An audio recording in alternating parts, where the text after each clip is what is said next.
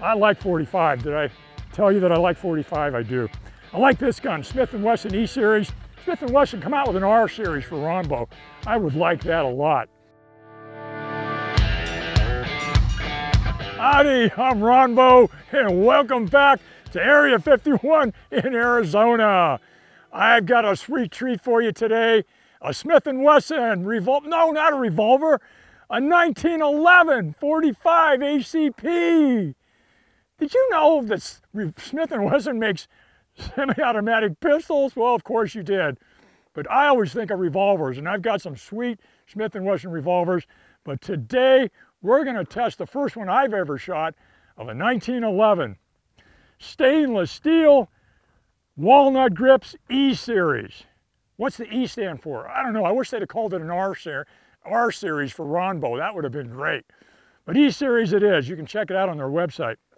Nice, uh, smooth and textured grips. Uh, stainless steel all the way around. Uh, gun weighs uh, about two and a half pounds. Serrations, look at that. They look like something off a lizard in the rear and the front. Nice touch.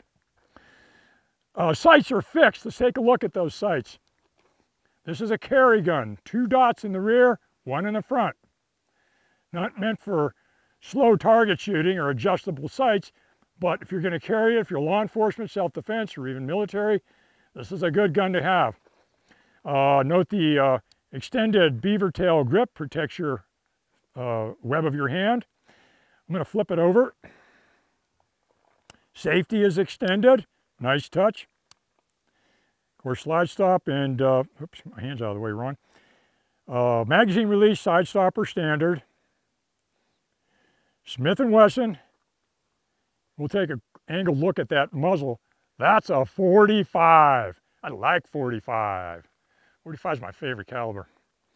Uh, the uh, magazine well is uh, beveled.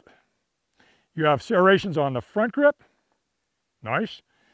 Serrations on the rear spring housing. Nice, another nice touch I like. Trigger is a target trigger, stainless steel. Breaks at about five pounds, five and a half pounds, but that's not a problem. The take-up is very light and easy to get used to. Breaks nice and uh, crisp, which is what we like.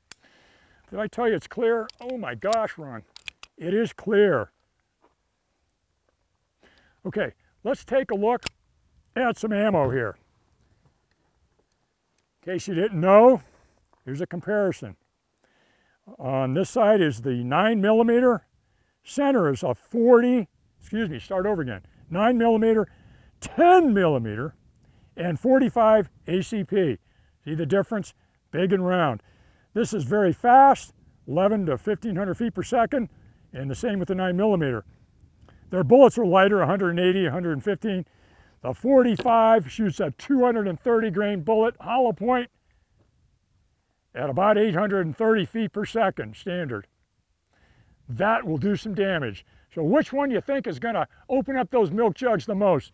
We're gonna find out. Smith & Wesson's been around a long time, probably 150 years, making revolvers, but they've been making these uh, for 20 years, and I think they got it down. First time I fired a Smith, uh, before we started filming, and it is a sweet shooter. So let's take a stainless steel magazine. That's what the gun comes with, by the way. Uh, eight shot. And load her up. See what we got to shoot at. Wow, lots of targets. And let's see, we got a jam right off the bat, okay? Didn't like that. Okay, loaded, safety's on, fingers out of the trigger. Let's take a shot or two at that uh, steel target on the left and see what these hollow points can do.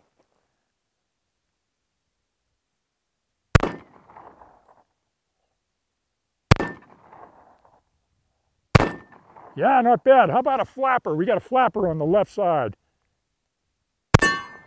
Yeah, 230 grain hollow point, jacketed. That moves that flapper. It's heavy. See if we can move it back. Well, we hit it full off center. There we go, just a good hit. How about a headshot? Oh, a little to the left. Oops. I guess my marksmanship is off. Let's try again on that headshot. There we go, high headshot. How about on the milk bottle? Oh yeah, listen to that ring. That's a heavy target. Center. Center. That left shot was me. Uh, got to practice a little more, Ronbo. Got a few BBs left. Oh, look at the milk jug in the center. It's leaking. Let's finish it off. It's wounded. Oh, yeah, put it out of its misery. Uh, we got a two liter root beer jug there. We need to water the desert. Yeah! Blew it up. How about the one in the center? Oh, yeah, center hit just turned that into root beer mist. Oh, that's good for the little animals that like root beer. Blew that one up. Uh oh out of BBs again. Don't worry, Ronbo's got lots of BBs. Got a milk jug way out there. Let's see if we can touch it. Oh, we hit it kind of high. It's leaking. That's better. Let the water out of that. Okay, a real test of a handgun and shooting pop cans. We got three here. There's one. Whoops. Oh yeah, we made up for that miss. How about the next one? Yeah, let the root beer or the soda out of that. There's one way out there. Come on, Ronbo. Oh my gosh, we need more BBs. That's a tough pop can.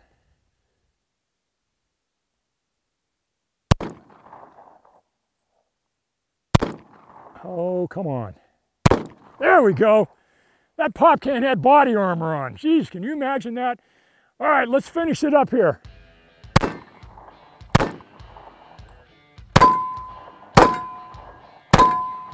45 power. I like 45. Did I tell you that I like 45? I do. I like this gun, Smith & Wesson E-Series. Smith & Wesson come out with an R-Series for Ronbo. I would like that a lot. You might find a used gun like this. Did I say used? Certified used. You might find one available at guns.com. I can't believe this is used. It still needs a bit of break-in. And I need to practice with it for my marksmanship, but you might find one. Check out guns.com. I'm Ronbo, this is Arizona. Thank you for coming out and watching me today. Go shooting, it's fun! Yahoo!